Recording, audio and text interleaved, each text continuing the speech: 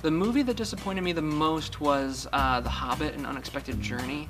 Uh, for a really nerdy reason, I suppose. Uh, one of the things that made Lord of the Rings movie so great was that, you know, a lot of those effects were practical. You know, that you had folks in, in makeup uh, as the orcs, you had like real armor, real weapons. Uh, and, you know, some of that stuff was, you know, replicated in special effects, but I really felt that that first Hobbit movie was just almost cartoonishly CGI.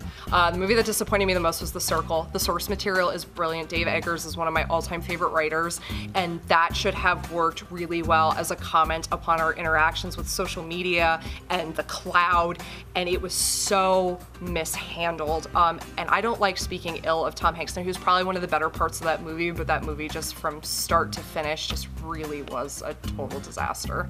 My biggest disappointment was the remake of The Wolfman from early in the decade. I think it was about 2010 that that came out uh, with Benicio del Toro and Anthony Hopkins. I love the original. The original is one of my favorite horror films, and I had high hopes for it, and they failed to meet any of them. The movie that disappointed me the most in this decade uh, was Spectre, uh, the follow-up to Skyfall, uh, James Bond. It's, it's still a good movie. It's not a bad movie.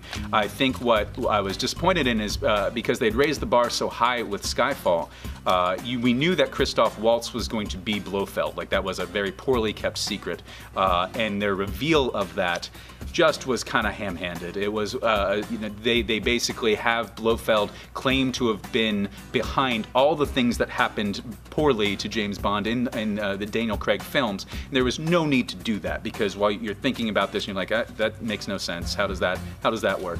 And so it was just one of those things where, eh, decent movie, not a bad Bond film, but uh, definitely something that took a what could have been a really big watershed moment for the series and uh, did not handle it uh, as well as they could have. My biggest disappointment of the decade was actually Noah, because there was a chance for a director who works with uh, on these thematic films often, and again making something like Black Swan and then following that with um, Noah I remember like leaving the theater and just like shaking my head and like I never spoke about the film again. So uh, Atomic Blonde. So it had you know amazing fight sequences, a, a bisexual protagonist who kicks ass, uh, a fantastic soundtrack, and a, a, script that just didn't hold up. It was full of, of cliches, and um, yeah, it was, it was very disappointing. It, it should have been better. Charlize, you disappointed me. The movie that disappointed me the most was Star Wars The Force Awakens. I liked it the first time when it was called A New Hope. Biggest disappointment I'm going to have to give to Captive State. Uh, it just recently came out a little bit ago, uh, and I was so excited for this movie.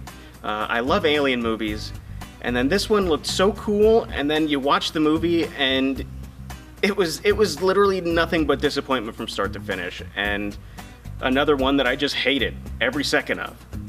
SpongeBob SquarePants movie, not the original one, the new one. Um, I went into that thinking, okay, you know, recently SpongeBob hasn't been good. I grew up with it as a kid, one of my favorite shows. I heard that Paul Tibbitt, the original creator, came back. It got like a 60 something on Rotten Tomatoes. Thought I'd give it a try. I hated this movie. Um, it had very little discernible plot um, just constant Deus Ex Machinas that weren't funny in the way that the original Deus Ex Machinas in the SpongeBob movie were funny. Um, and worst of all, SpongeBob had no arc at all. So let's talk about that, or let's not. And it was a disappointment. It was the battle of the sexes about Billie Jean King. And um, not only because of her being such an icon, but if you look at her biographies that she has written, plus what went on behind the scenes in her life. Uh, not only, you know, having the battle of the sexes, the, you know, the tennis uh, with uh, Bobby Riggs, but also what was going on in her personal life. And they, they barely touched upon it, and if they did, they kind of skimmed over it. And I thought that was the opportunity to really make one sensational film. The movie that disappointed me the most in the last decade uh, that would be Zack Snyder's Batman v Superman Dawn of Justice. First off, I'm a massive Batman fan. I'm a massive Superman fan. I actually truly believe Man of Steel is a masterpiece. Uh, and after that movie came out, they announced that, you know, for the sequel, he's gonna go up against Batman. And then they said that Ben Affleck was gonna be Batman, which I thought was great casting. Uh, and, you know, Man of Steel came out in 2013, and then Batman v Superman came out three years later. So this was the longest three years of my life waiting for this movie to come out. You know, I, it was a movie that I waited for updates every single day. In my mind, I loved the movie before it even came out. And then I saw it.